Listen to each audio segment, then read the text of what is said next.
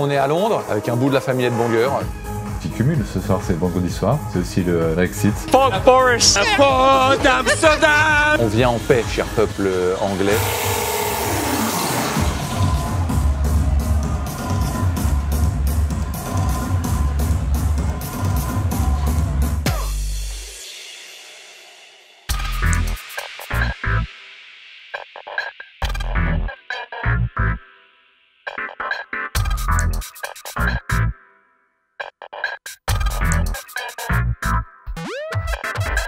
La particularité du fan anglais, c'est qu'il vient une heure avant que les portes ouvrent, en t-shirt alors qu'il fait moins 20, et qu'il boit euh, 700 litres de bière euh, en une heure, donc il n'a jamais froid.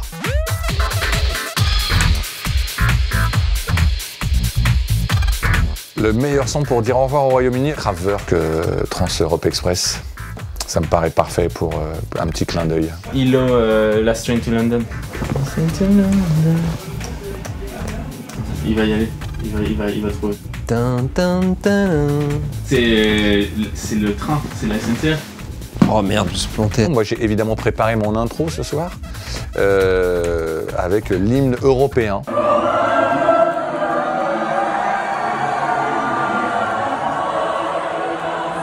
Moi, je mettrais bien un morceau français pour finir, hein, pour dire au revoir, pour dire qu'ils sont bien cons de nous laisser.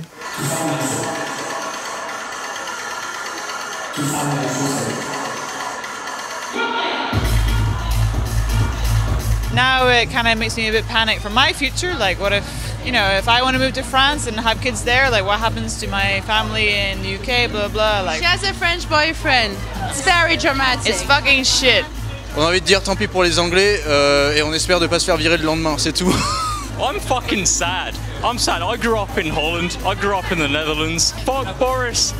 Fuck everyone that's trying to separate us. We all need to join together. We're kind of with a heavy heart because I think if the EU's going to work, you need to be close together, and you could never do that with Britain.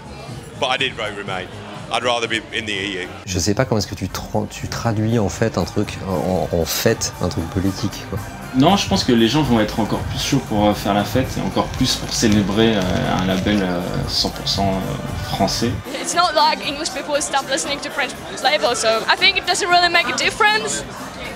To me personally, not at all. Ça me parle parce que par exemple, euh, moi je pense changer mon nom en, en, en Brexbot par exemple, tu vois, ça sera plus Brex, euh, Break- Breakbot mais Brexbot. Je faisais mon, mon Brexbot. Il a fait son petit bre- Brexit. Longtemps. On joue dans deux minutes, il faut qu'on y aille. Nous en France, j'ai des souvenirs, on vidait les salles.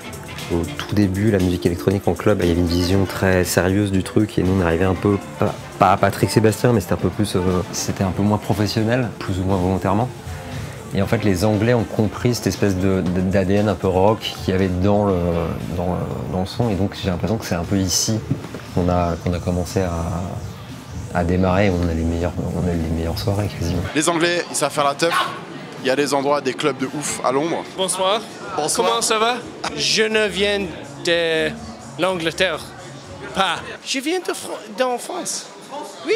Faux. On va dire qu'ils ressemblent peut-être plus au public lillois euh, ou au Ouais, public ouais. breton en France. Voilà, exactement. Ils savent faire la fête. Après, il y a un truc qu'il faut, qu'il faut- rappeler, c'est qu'ils ont quand même une culture musicale de ouf. C'est un petit peu la mecque en fait de la pop. Ils sont toujours un peu en avance et ils, ont, ils connaissent toutes les bases. Donc quand on joue, euh, nous qui jouons des trucs rétro, il y a des trucs où on s'attend pas du tout à avoir un retour et les gens chantent les, les chansons, quoi. C'est c'est dingue. C'est un, un public assez particulier. ouais. Ils viennent pour la musique et ça c'est un point assez important.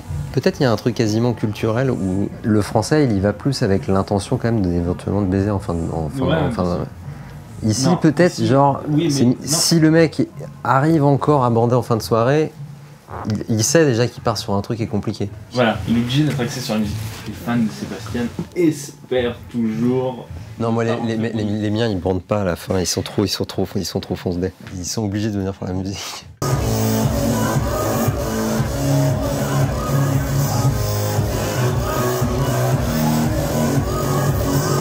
C'est quoi la meilleure chose que les Britanniques nous aient apporté euh Ricky Gervais. Très important. Le foot, le golf, le tennis, faut pas oublier ça. Ils ont rien fait en termes de nourriture, faut l'avouer. Voilà. Ouais. Grosse lacune sur la bouche. Grosse lacune, beans on toast.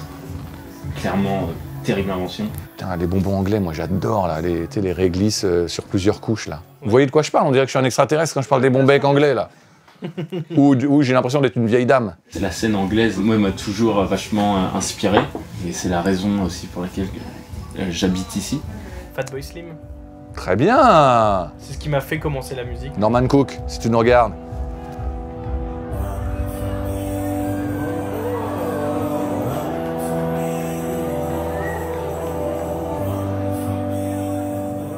Putain, ça me revient maintenant. Et les Anglais, ils sont forts en drogue. Les Anglais se, se mettent très cher. C'est- Ils sont très très forts. Ils en vendent bien, ils en prennent bien. Ils en font bien, j'ai l'impression. Bah, tu disais que c'est le Brexit, c'est le moment, il va falloir, exporter. Récemment, il y a eu un- une étude de combien de, de- de kilos de cocaïne sont consommés à Londres uniquement. 23 kilos chaque jour. Par personne. Non.